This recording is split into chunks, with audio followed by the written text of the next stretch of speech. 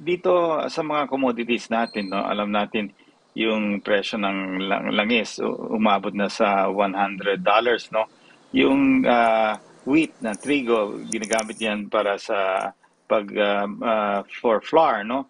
Ah, tumaas na rin yan kasi Ukraine supplies 25% of the world's ah, wheat supply, no?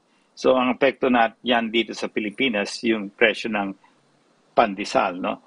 Yung skim milk, yung sugar, yung vegetable oil, halos lahat ng mga commodities ay tumaas na, no? Sana wag talagang lumala itong gera dito sa Ukraine at Russia kasi baka mamaya talagang uh, they, it, it, it will really cause more uh, increases, no?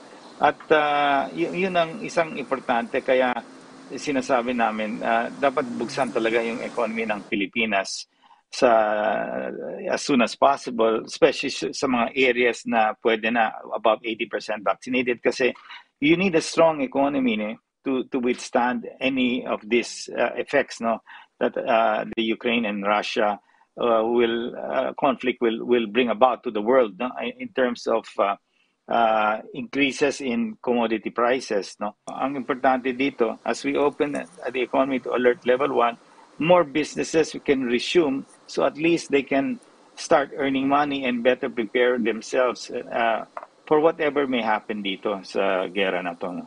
Whatever mm-hmm. happens to Ukraine-Russia crisis, uh, a strong Philippine economy can weather that no, much better. Mm-hmm.